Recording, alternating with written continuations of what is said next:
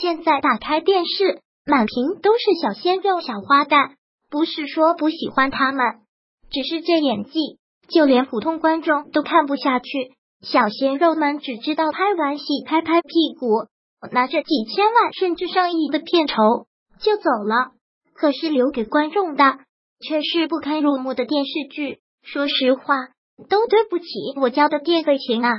不知道从什么时候抠图可以做到无所不能，哪怕演员不来。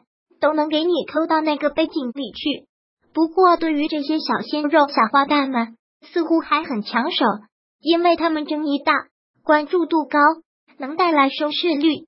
所以，有的投资商根本不把演技考虑在内，更不会考虑观众们的感受。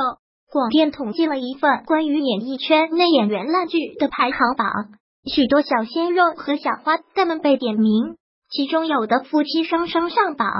排在第一位的是杨幂老公刘恺威，电视剧数量十二，低于六分的十二，好尴尬，这得需要多大的勇气啊！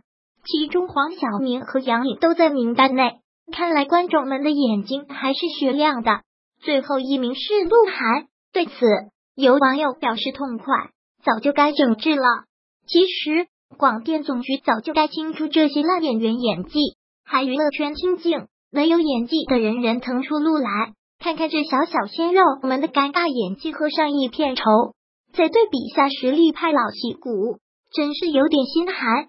其实演技差的也并非表单中这些，在这个用流量说话的年代，演技已经不是衡量一个明星唯一的标准了，所以才会导致现在大量的烂片充斥着荧屏。对此，你们有什么想说的呢？